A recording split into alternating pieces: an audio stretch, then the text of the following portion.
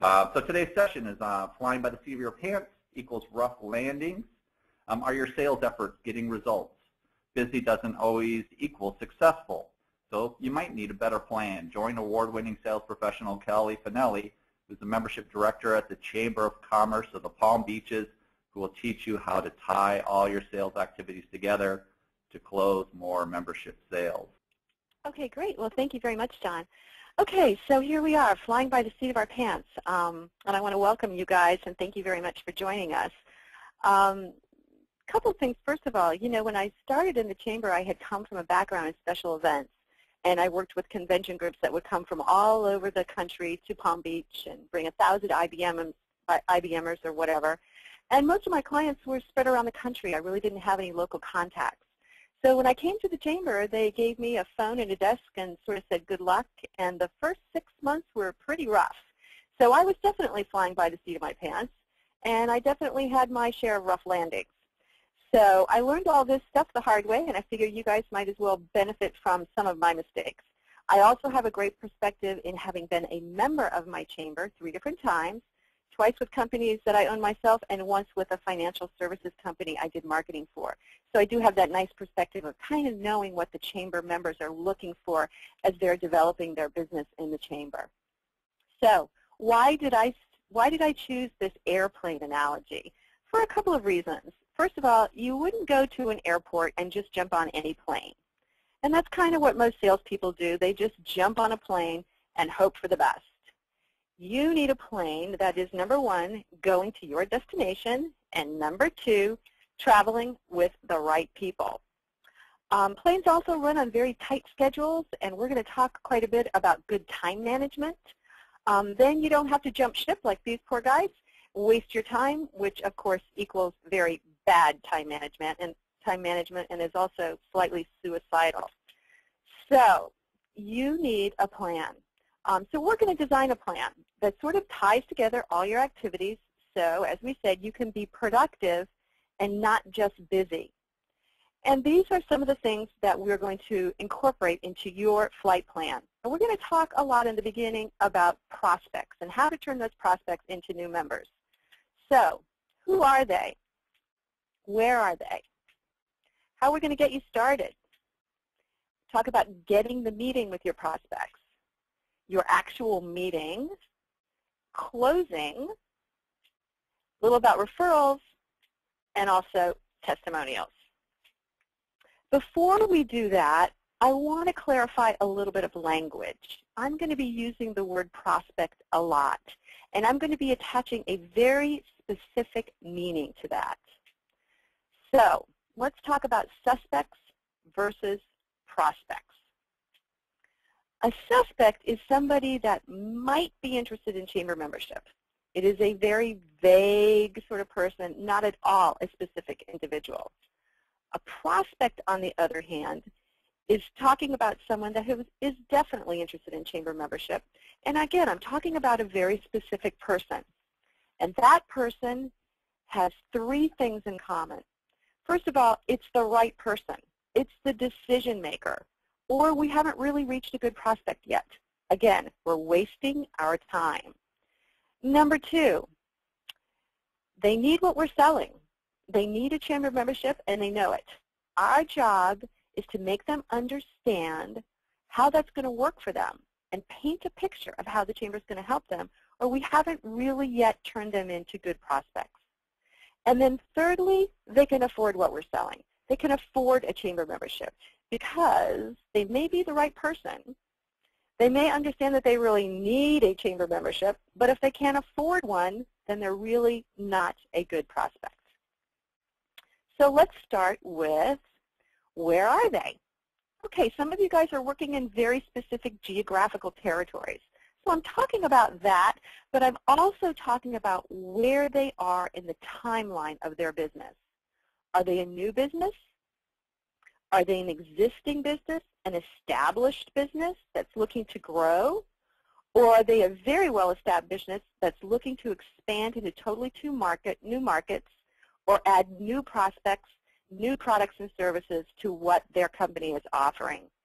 Where they are in that timeline of their business will influence greatly what kind of conversations we're going to have and which elements of your chamber programming is going to best meet their needs. So let's talk a little bit about new businesses.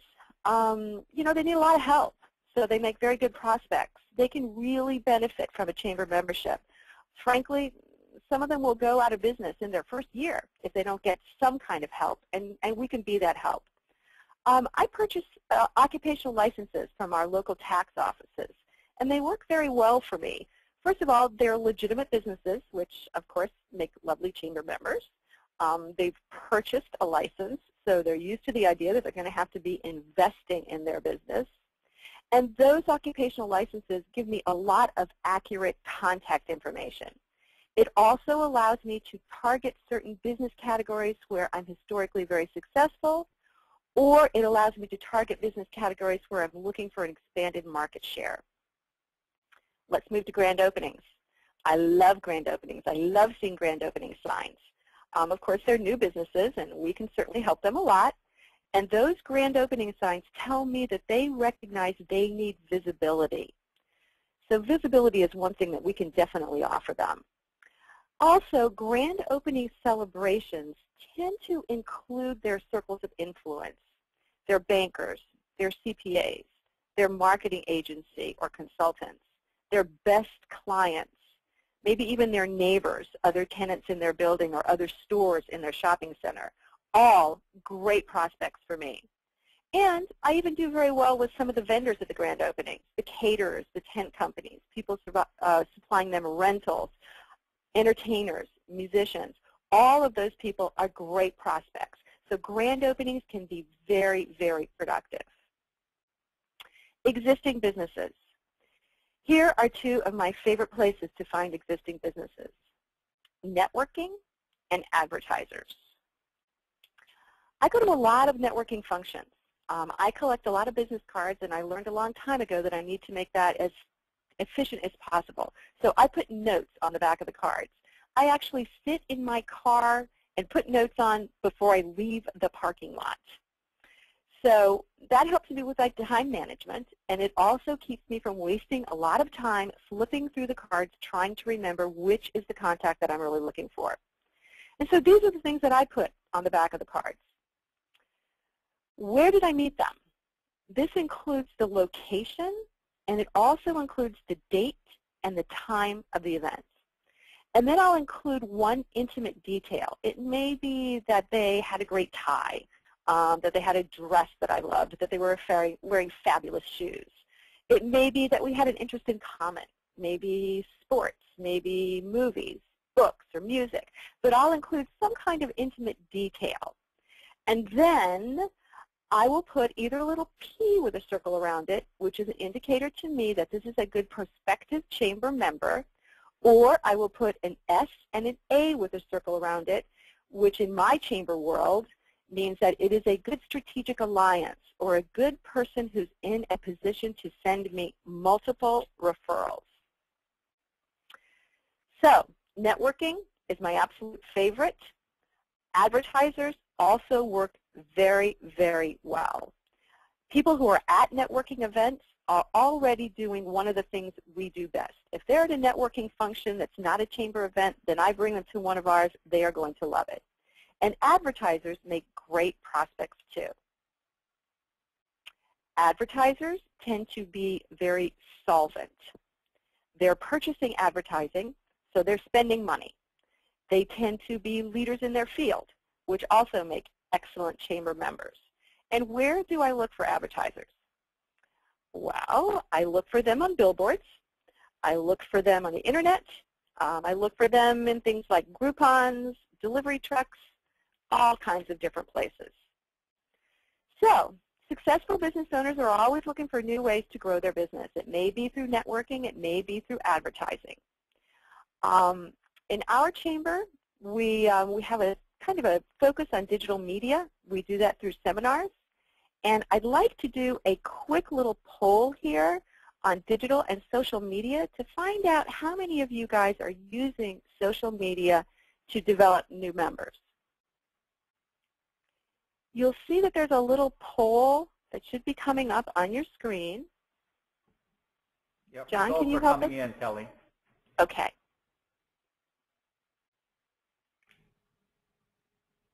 I find that um, social and digital media is a real interesting topic in the chamber world these days.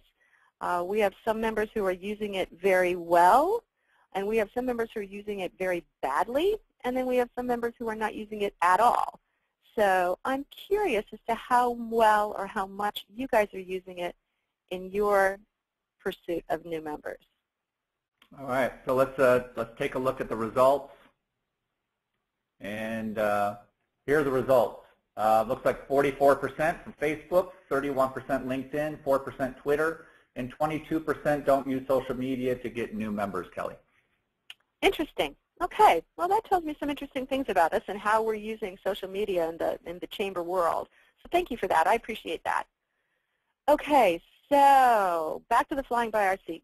We've got our contacts. Now what? How are we going to turn these contacts into new members? I use three questions. I don't usually say, tell me about your business. First of all, it's a little too vague. It allows them to babble, which is bad time management. Um, questions engage them. Um, they love talking about themselves. It gives me very specific information. And so these are the questions that I use. What do you do? Well, why do I ask this? Well, first of all, of course, I need to know a little bit about what they do. Um, secondly, I can match programming based on what's going to meet their needs or their business categories. How well they communicate that can tell me a lot. If they can do it well, first of all, they give me really quick insights as to what they do. And that's a skill that's going to make them a very successful chamber member, and it may even make them a good strategic alliance or source of referrals for me. It will also tell me how much help they need. If they can't answer it well, they're going to need a lot of help. And I have some programming that I can refer them to that will really help them with that. My second question is, how long have you been doing it? This tells me, again, a little bit about what kind of programming they'll respond to the best, what kind of communication tools that the Chamber uses will work best for them as well. If they're new, they might be new in their position. They might need some help coming up to speed. That the Chamber can help with them with that.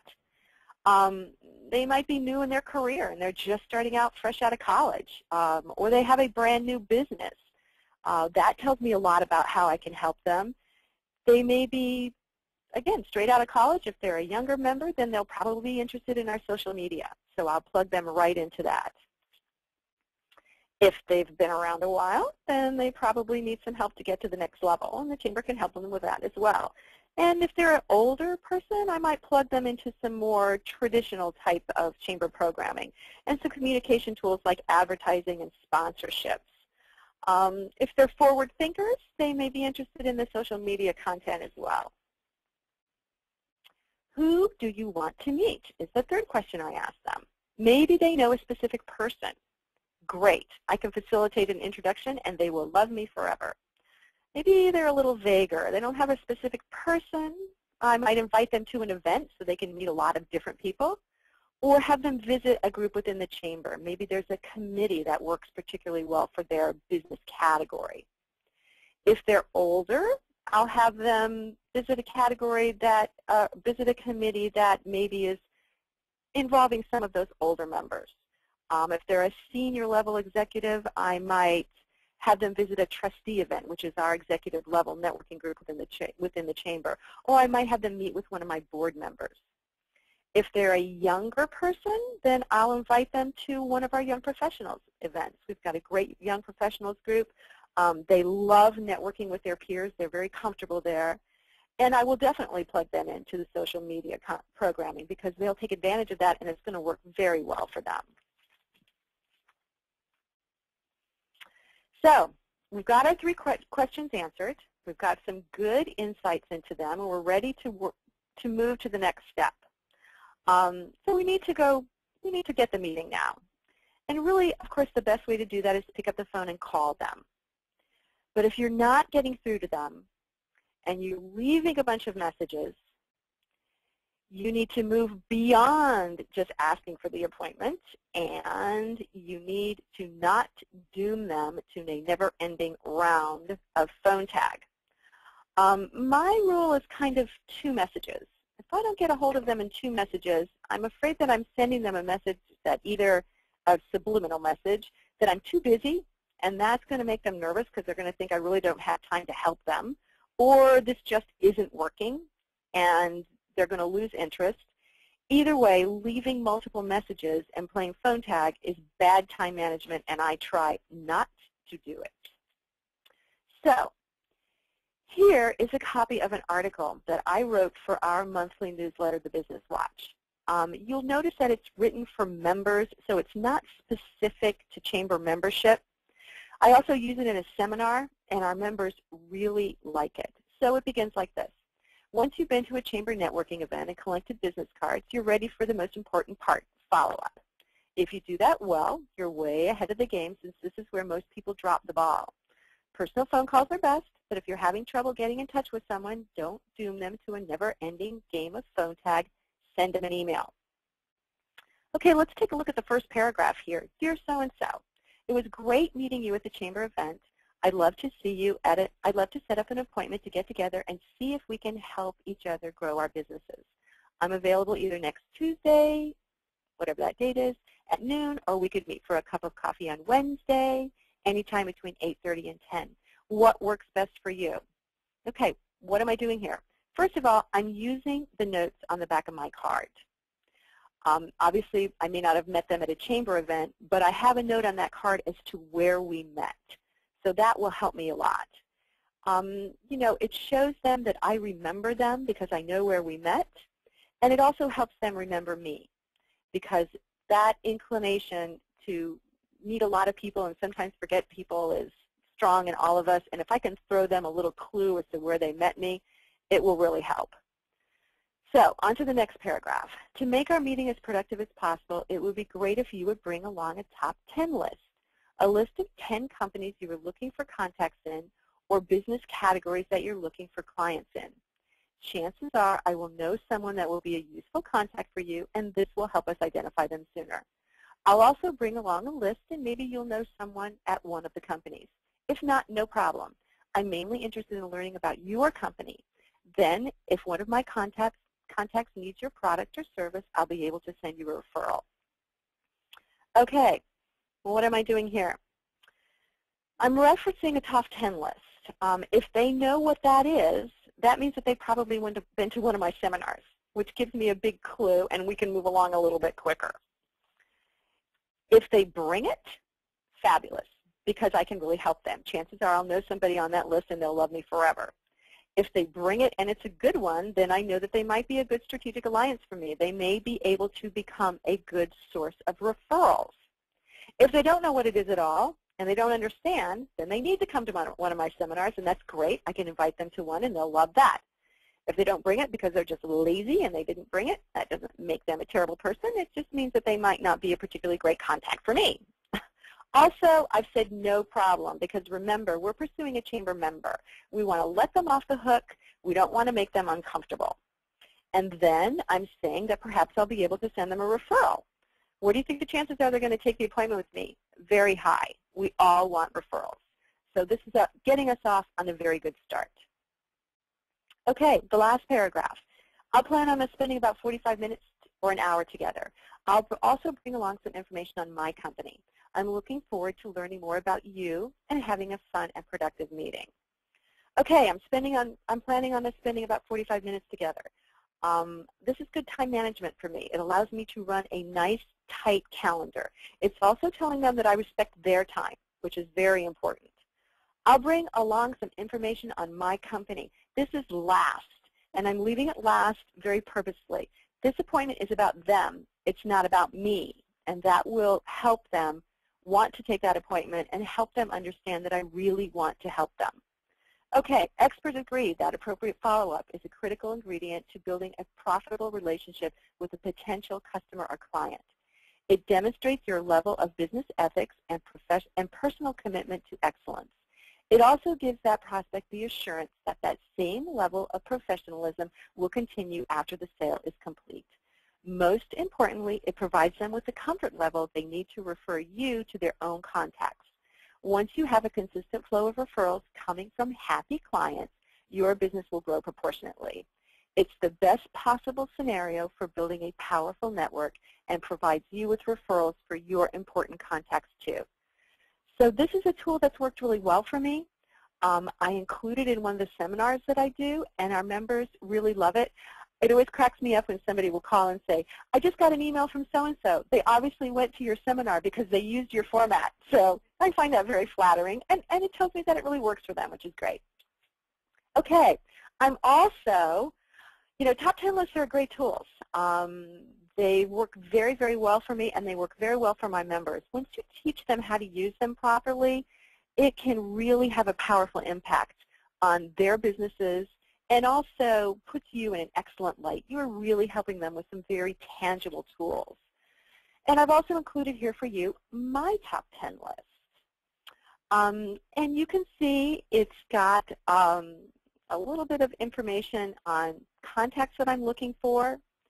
Um, it has some very specific individuals, uh, the Miami Children's Hospital, Karen, um, Sam from the Capital Group, Dawn from uh, the private bank. It has some companies that I'm looking for contacts in. I don't really have them necessarily. Um, the Cancer Institute. Um, I'm looking for certain business categories, so I've given them that as well. New restaurants, attorneys, marketing managers, sales managers, those types of things. And I've also included an introduction because I want to make it very easy for my contacts to use this. So I've given them a way to introduce me that will make it really easy for them. And then I've given them a sweet spot. Uh, a sweet spot is really a description of what I'm looking for. So they have a prayer of remembering it so that it'll help them identify them as quickly as possible. And you can see I've told them I'm looking for um, businesses in Palm Beach County especially in the West Palm area. Of course, I have members from out of state that join our chamber because they want a presence in this particular business community, but I'm giving them a little parameter to make it a bit easier for them. Um, also, going back to that introduction for a moment, I want to make it easy for them, but you'll notice also that I focused on some of the things that we do best. I've talked about networking events and seminars. I've talked about visibility tools like the website, directories, newsletters. And then I've thrown in something that will work even if they never come to an event. Things like those visibility tools. They're still relative to them even if I never get them to an event because some of our members will come to events and some of them don't. And we still need to be relevant for them and make sure that we're really, we're, we're speaking to them as well. So I use these all over the place. Um, I take them to my one-on-one -on -one meetings. I encourage those people to share it with their contacts.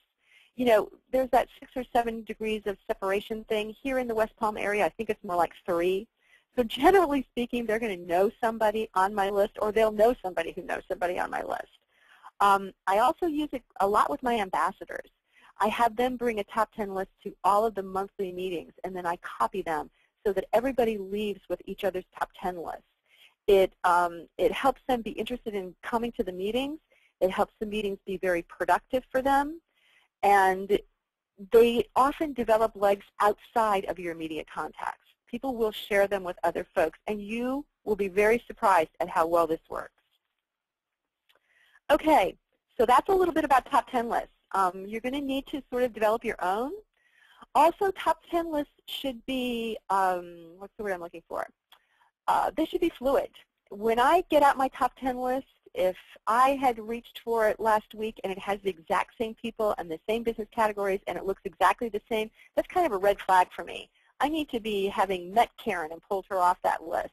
I need to have already worked very consistently in the attorney arena. Now I'm looking for, um, you know, might be insurance professionals.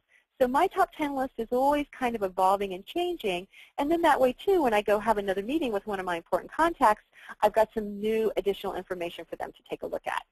So develop your own top 10 list. I think you're going to find it's a very useful tool. All right. so um, we've got our appointment. We did it either over the phone or we achieved it through an email. Now we are ready for your meeting, the most important part. Let's talk a little bit about that. Okay, who, what, when, where, why. These are all important elements of you planning an agenda and achieving a productive meeting. So let's talk about who. We need the right person. We the decision maker. If it's not the decision maker, it's not a prospect yet. I have a phrase that I use too to make sure that I'm really getting that person and all of the right people at the table. And this is the phrase. It goes like this. Is there anyone else whose input we will need to decide if a chamber membership is right for you? Sometimes they'll say, um, oh yeah, you know, my business partner needs to be involved in this. Great. Are they available next Tuesday or whatever the day is that we set the appointment? Sometimes they'll say, oh yeah, you know, my wife and I make all these decisions. Great. Is she available? They might say, you know, I talk to my dog about everything. Wonderful. Is your dog available? Whatever it is. We want to be sure that we have the right people at the meeting. Otherwise, we're going to have to schedule a second meeting, and we're just wasting our time. So very important to be sure that we have the decision makers and all of them included in our meeting.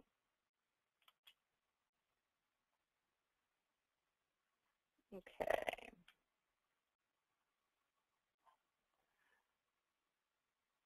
All right, so we've got all the right people. We've got them at the meeting. We're ready for our next step, which is what? What is also important? Um, what are we doing here? What kind of relationship do we want with this person? So let's go back to the notes on the card. Is there a P with a circle on it? Great. That's a great prospective chamber member. I know exactly what type of conversation I'm going to have with them. If it has an SA with a circle around it, that means that it may be a great strategic alliance. Wonderful, because I know the smart way to grow my membership is through powerful referral sources. So I'm going to include a different type of conversation in that as well. That will tell me a lot about what direction I'm going to go on go in, and I want to be clear about that before I get to the meeting because, again, I'm looking for very productive meetings, and I'm working on my time management. So we have the who, we have the what. Let's go to when. Okay, back to the notes on the card. Remember I wrote down where I met them. I also wrote down what time. Okay, if this was a morning meeting, then this is probably a morning person. I'm going to want to schedule something in the morning with them. I'm not going to do it in the afternoon when they're exhausted and cranky. That's not going to work well. Um, if it was a noon event somewhere, wonderful. Then maybe I will set an appointment to have lunch with them. There's something very intimate about breaking bread with someone. It's a great way to build a strong relationship with them. I love noon appointments. If I met them at an after-hours function, I'm certainly not going to set up a morning appointment. They're going to be groggy. They're going to be cranky. Not good. I want to have them at their absolute best. So when I schedule the appointment is also very important. Okay, so we've got that under our belts. Now we are ready for where. And where we have the appointment makes a really big difference. Let's talk about that for a second. Yours your appointment, I mean your office, your building, your store, neutral ground, or mine. You're coming here to the chamber. Let's go back to yours for a second. Um, sometimes this is really good. I can learn a lot about being in someone's business. Um, the location can tell me a lot about what type of company they are and what, maybe what kind of contact they're looking for. Um, our chamber membership due schedule is, stru is, structured by the number of employees that they have for most business categories. So if I walk in and I see a huge office with lots of employees, I know this is probably going to be one of my larger members. Um, what does their office look like? If it's organized, great. If it's a total disaster, then you know I'm going to want to refer them to some chamber programming that can help them with that, with some time management, with some organizational skills. So I can learn a lot about being in their office. sometimes the exact reverse is true. Um, restaurateurs are a great example of this. I try never to meet with restaurateurs actually in the restaurant. They will get interrupted at least 500 times during the hour that I'm trying to get their undivided attention. If I can get them out of the restaurant, it really works well for me. So sometimes being there is not such a great idea. Um, sometimes neutral ground is good. Okay, let's go back to the notes on the card. Where did we meet them? Um, maybe we didn't meet them at a function. Maybe we met them at Starbucks. Great. We know they love Starbucks. That's a great place to meet. They like that neutral ground. We're going to a place that they enjoy. So sometimes neutral ground is a very good plan. Um, I tend to go with mine whenever possible. I'm very lucky. My chamber is situated on a beautiful piece of real estate overlooking the Intercoastal and West Palm. It's a lovely building with a beautiful boardroom, and I can show them that, talk about the seminars and meetings that I do there. Uh, there's a whole huge wall of brochure racks that the members leave, so I can talk to them a little bit about what we'll put in there from their company. Having them come to me is a great strength for me. It also positions me as a leader and somebody who can really help them. So usually I try to get them to the chamber whenever possible. It's also good time management for me. I'm not driving all over Palm Beach County meeting them in various locations. So mine works best for me. Okay, so we've done the little circle. Now we are ready for why. Let's talk a little bit about why.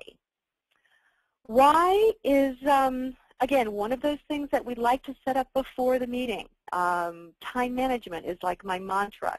So I need to have this in my mind before I get to them. I don't want multiple appointments with them. I want to be focused in. And where we are in the sales process will help me a lot with this why part. And I might say to them, you know, let's, in my email or in my conversation, let's get together so you can tell me more about your company and your role there. You can tell me about what your goals are for your company and for your chamber membership. Um, and I'm going to tell you a little bit about how the chamber can help you because we're in that introductory phase. Maybe we're sort of in the middle of my sales process. We've already done all of that, so now I'm going to say to them, let's get together and make sure we have all your questions answered. That's a very important part. Until we get that done properly, we cannot move to the next step.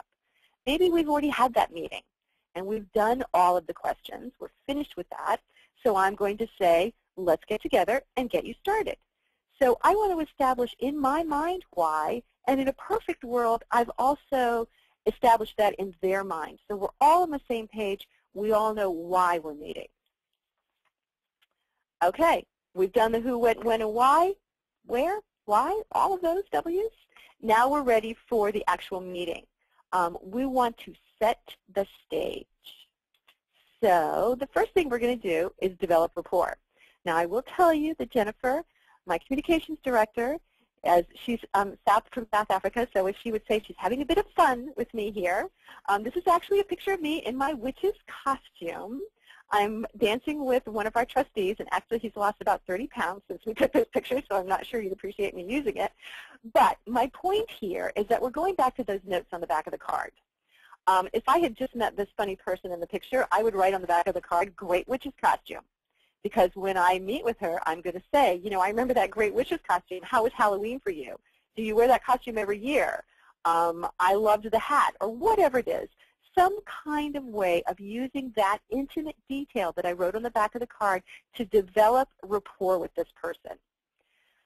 Remember, people do business with, business with fo folks they know, they like, and they trust. So you want to give them a moment to trust you and get to know you you're going to use those notes on the back of the card.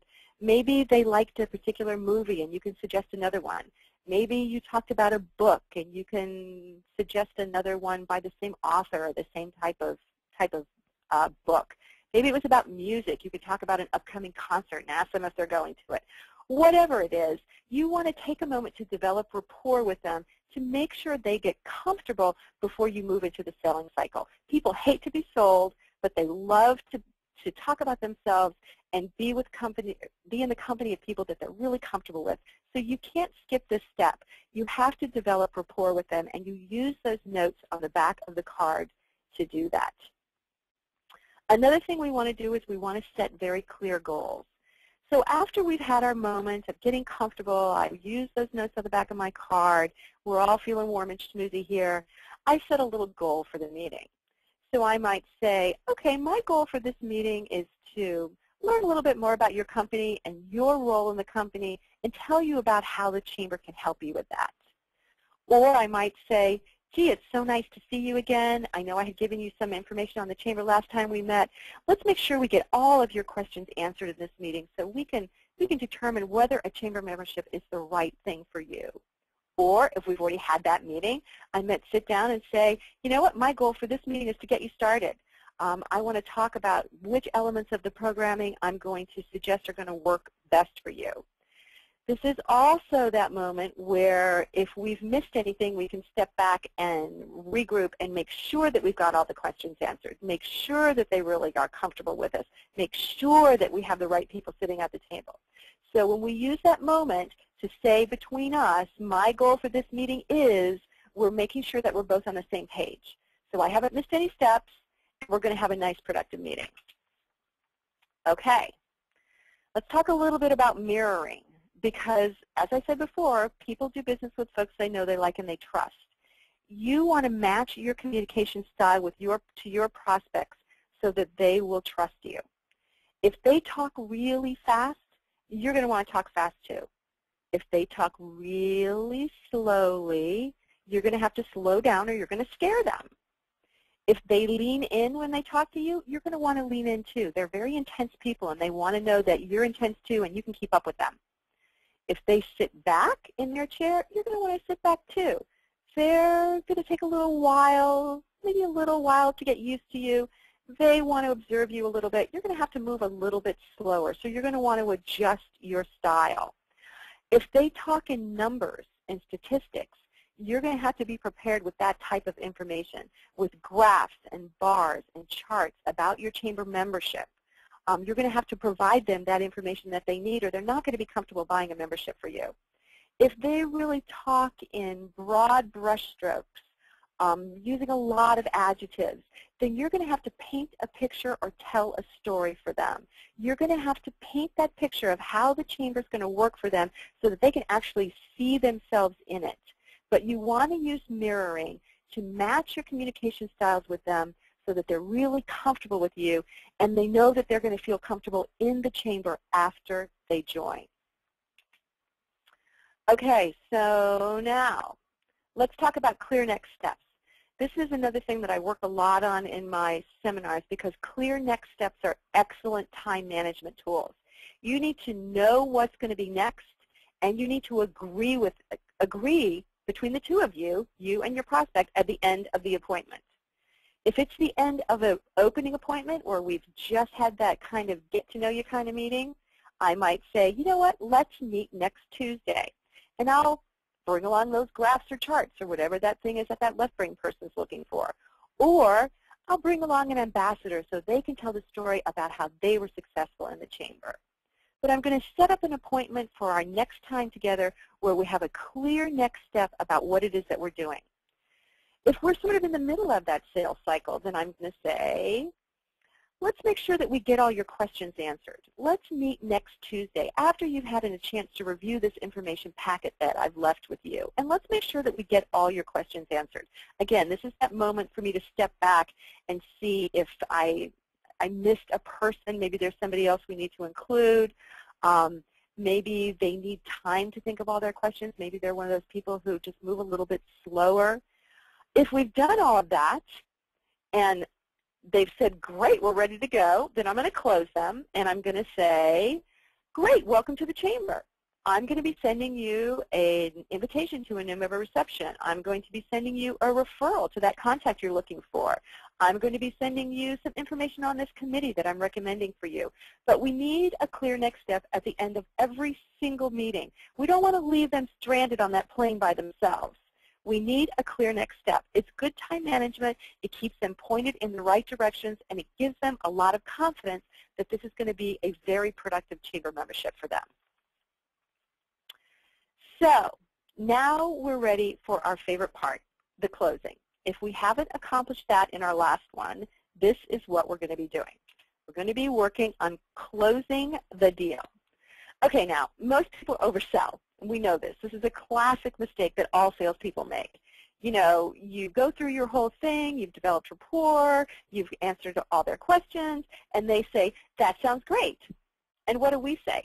We say, oh yeah, it is, but you know, you're really going to love our committees, our events, our website, our directories, our newspapers.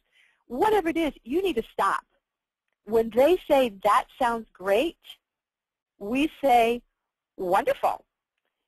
And then we say this, and this is important, if you're sure you don't have any more questions, because let me tell you something, if you skip this part, it's going to turn around and bite you almost every time.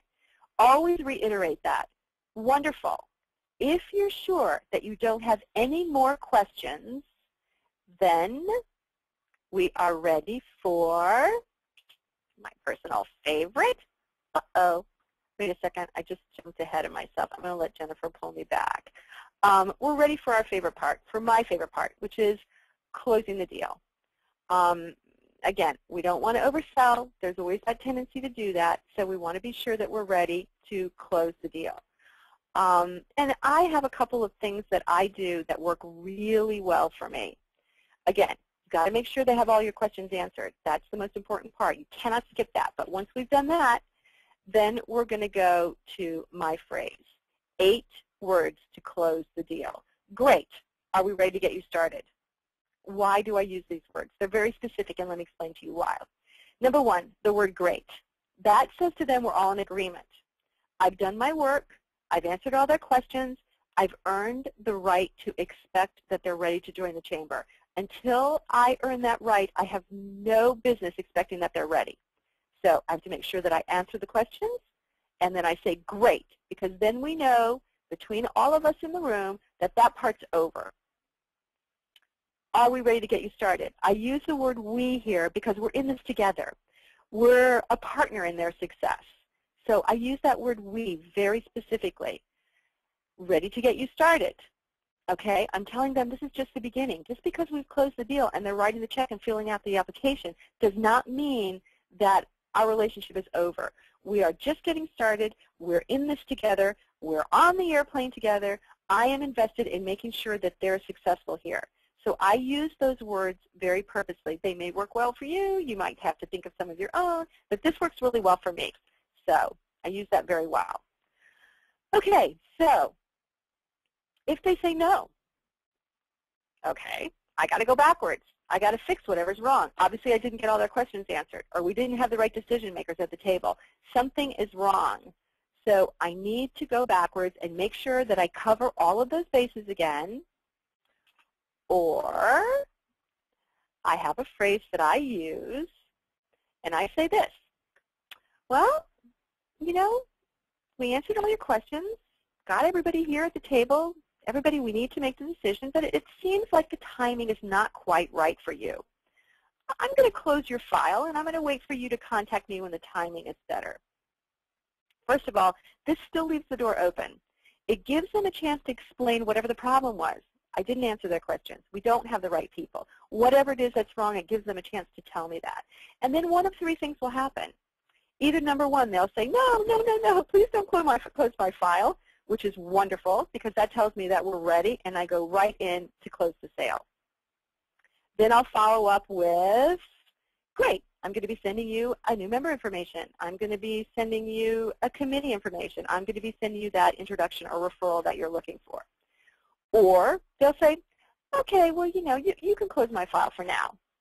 And that tells me that something else is going on, that they're not comfortable telling me. Maybe they're selling their business. Maybe they're in the middle of a nasty divorce.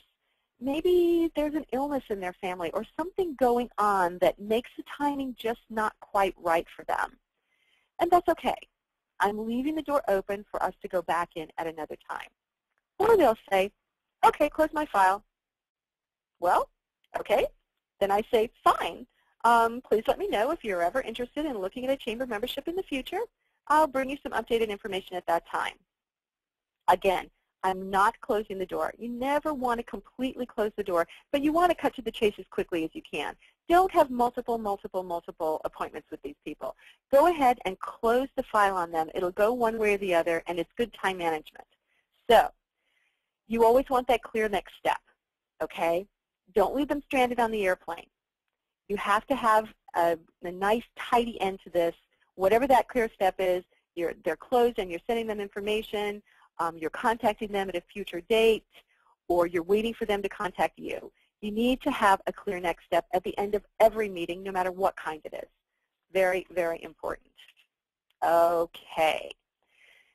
So a couple of more things I want to talk about before we wrap this up and get to your questions. The first one is referrals. Are you guys getting referrals from your chamber members? If you are, good for you. Congratulations. You're doing some stuff right, and I'm proud of you. But chances are you can probably still improve that a little bit, and maybe some of these suggestions will help you.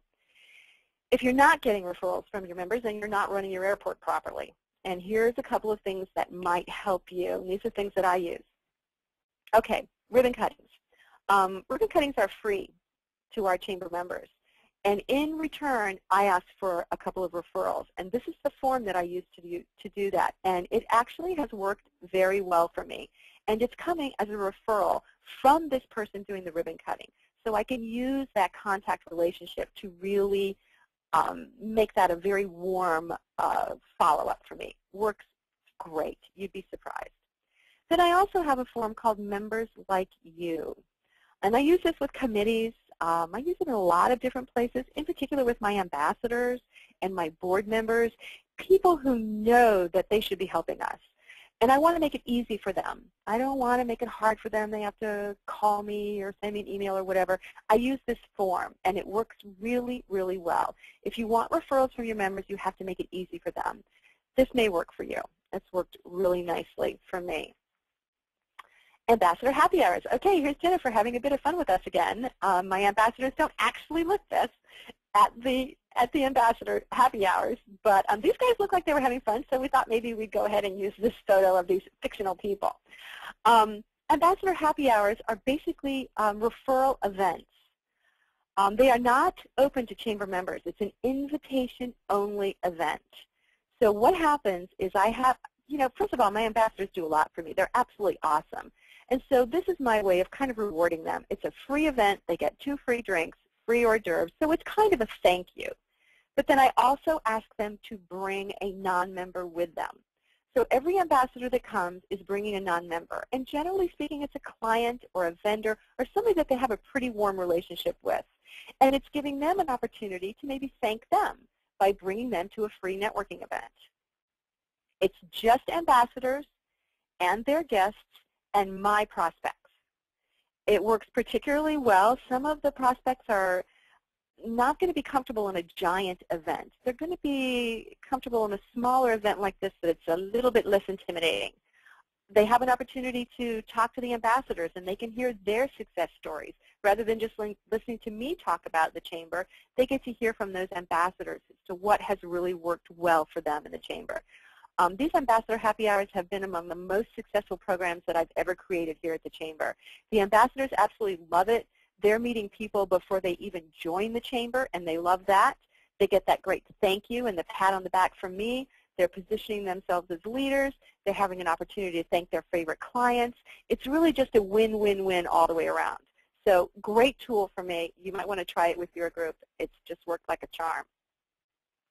Um, now let's talk a little bit about testimonials. Um, for the past year or so, I have been on an absolute rampage for testimonials, and they are working like a charm.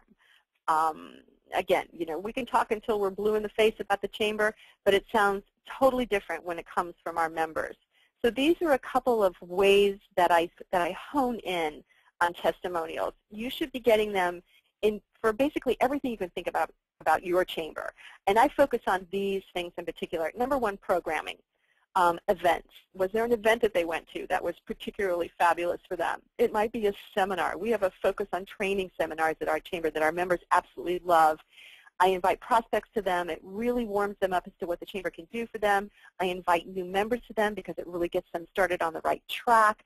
So the seminars have been great. It may be a committee that they joined that they really love and has worked really well for them. It may be our leadership program. It may be some of the visibility tools like the website, the directories, the newsletters.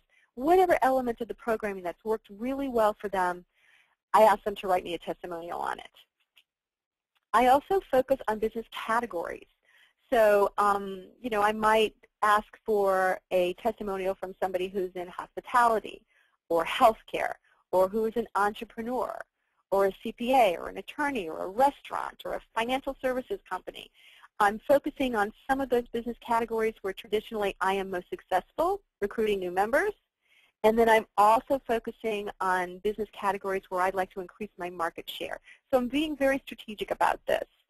In short, I'm using this bad business category to highlight the strengths of my chamber membership and my chamber, and also to highlight my weaknesses, those places where I'd like a bigger market share. So I use those business categories very strategically as well. And then timing. You know, where are they in the in their business life? Um, you know, they might write me a testimonial that says, I just opened my company and this thing in the chamber worked really well for me. Uh, they might write one that says, I just started in a brand new position and wow, you know, this worked really well.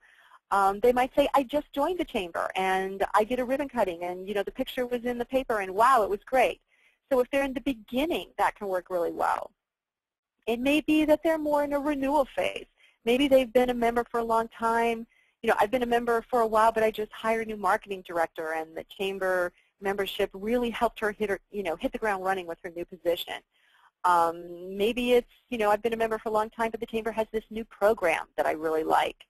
Um, maybe they've been members for a long time, and you can get a testimonial that says something like, I've been a chamber member for 50 years, and the chamber helps keep our business informed on business issues.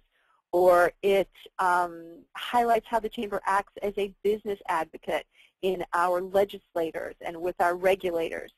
So where the, that member is in their business life or their career life can also give you an opportunity to hone in and be strategic about those testimonials that you're asking for. I use testimonials in websites, directories, newsletters, event invitations, emails, marketing materials, sales packets. I use them all over the place. Um, they highlight my chamber's strengths, and they also help me tell those success stories. It also lets me promote some of my most involved members, my board members, my trustees, my ambassadors, my strategic alliances. So they work really well for me. Okay, guys, I'm about done. Thank you very much for your time, your patience. I hope this has given you a flight plan that you can all use for productive trips and safe landings and lots of lovely trips with many new members. So there you have it.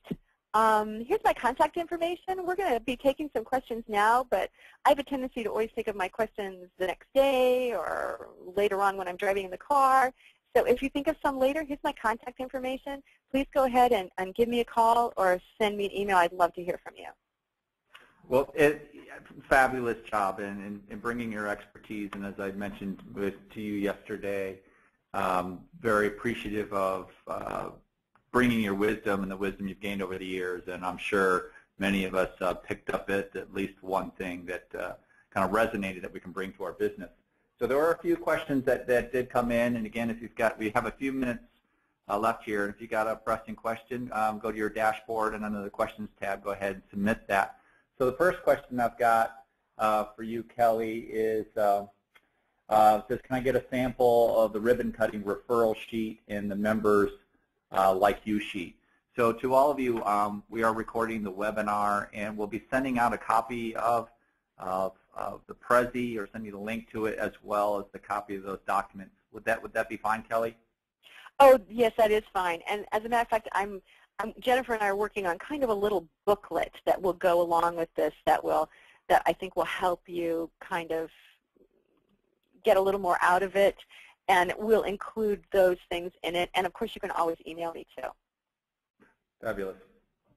Another question that came in uh, is, uh, do you give your ambassadors leads to non-members uh, to bring to those happy hours? No, I don't. Um, those are my prospects, and I, I bring them to the happy hours. I'm asking the ambassadors to bring somebody that may not know anything about the chamber or somebody that I don't know.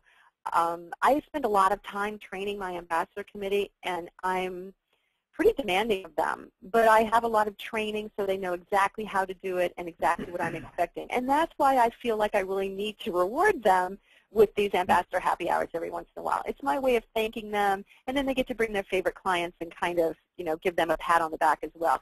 So no, I don't give them a list of people to invite. I'm really counting on them to bring Perfect. somebody that's not yet a prospect for me. And, and uh, someone brought the question, can we repeat this webinar at a later date so other staff members can sit in? And uh, again, uh, this webinar is being recorded and we will be posting it to the ACCE website uh, where we post our webinars so it can be accessed. And if you have any difficulties finding that later, simply email me. Um, again, my name is John Carlson at jcarlson at acce.org and we'd be happy to get you uh, this webinar for your staff. Uh, let's see, next question. Um, have you ever looked for prospects in an area breakdown? In an area breakdown, Yeah. I'm not sure I understand what that what they mean by that. Um, you know, I look for prospects in all kinds of different places. You know, I look for advertisers because, of course, they make great prospects. Um, I, I sometimes look for businesses that are really struggling, um, and maybe that's kind of what you're referring to. Because, yeah, I can help them. And if I can help them, they will love me forever. They will become very happy, productive chamber members. They will probably become a great referral source for me. So yeah, sometimes businesses that are, businesses that are in trouble can make good prospects.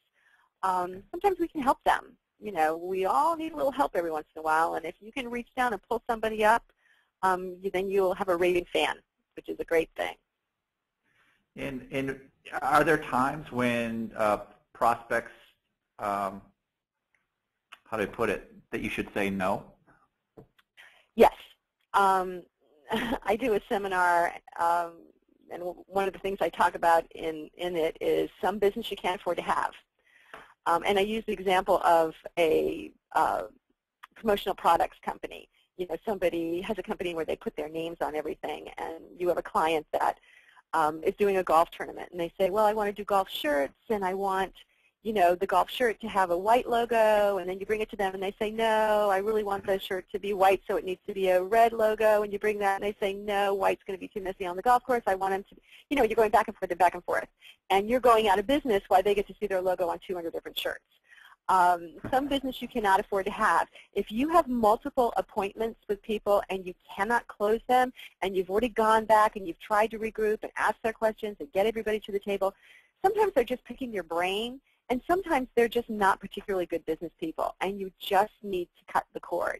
It's, it's hard to do, but some business you can't afford to have. You will go out of business while they are floundering. Sometimes it's a matter of timing. If you, if you close the file on them and cut them loose, they may come back to you in six months or so a little more savvy and understanding what they need and what their goals are, and then you'll be able to help them more. But yeah, sometimes you sometimes you got to do that. It's it's painful, but you got to do it. Great. Well, uh, it's two past the hour, and uh, thank you, Kelly, for your session today on flying by the seat of your pants uh, equals rough landings.